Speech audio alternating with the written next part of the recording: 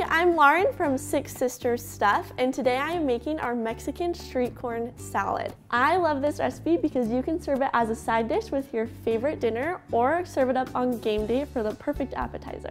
I'm just gonna start by chopping up one red onion. So you can chop these up as small as you want or keep them as big as you want. I am not a huge fan of onions, so I'm gonna be chopping them pretty small. Okay, so I'm just gonna chop up half of the onion and throw that in there. And this will break up a little bit more when we stir. And then I just have half of a bunch of cilantro that I'm gonna chop up. All right, so I'm gonna throw in all that cilantro and you can add as much or as little as you'd like. I know not everyone is as big of a fan of cilantro as we might be. And then I'm just gonna take one jalapeno. I'm actually gonna cut the seeds out of the middle. If you like it spicy, feel free to leave the seeds in there, but because we will be serving this for the whole family, I'm gonna cut out um, the seeds there in the middle, just to get rid of that. Okay, now for the rest of the ingredients in the salad.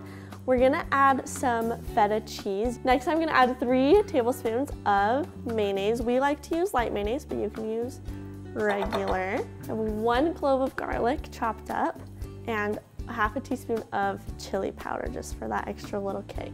So I'm gonna mix all of these together and then we're gonna head over and work on our corn.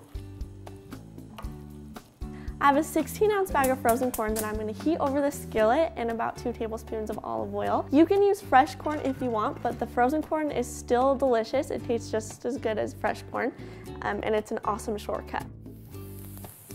Okay, now I'm just gonna pour in our charred corn.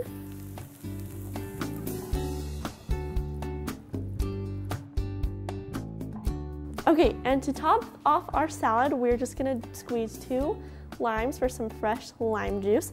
I'm just gonna roll these out to make sure we get as much juice out of these as we can. Okay, we're just gonna stir in that lime juice and then we are ready to serve. Like I said, this is perfect for a side dish or if you wanna serve it up with chips for the game, that works great too. You can find this recipe and so many more on our website, sixsistersstuff.com.